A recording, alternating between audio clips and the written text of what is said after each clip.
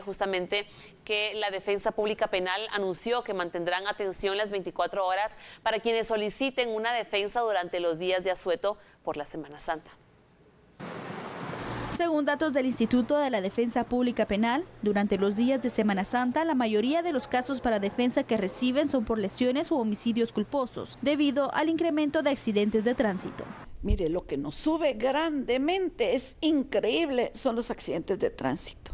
Eh, son por personas que andan conduciendo bajo efectos de licor. Es increíble, pero lo que es la responsabilidad de conductores, lesiones culposas, homicidios culposos, es lo que más, lo que más se da. Y por qué no decirlo, violencia contra la mujer.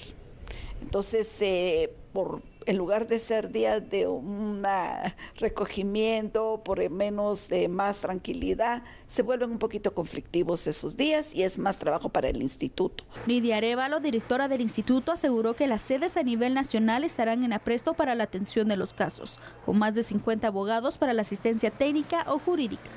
En ese sentido, nosotros hemos nombrado un contingente de 51 abogados de oficio para de turno para que ellos estén brindando esa asistencia técnica legal para todas las personas que eh, se encuentren en un problema jurídico y que no tengan eh, dinero para pagar un abogado. La línea de llamadas de emergencia al 1571 del Instituto de la Defensa Pública Penal también permanecerá habilitada.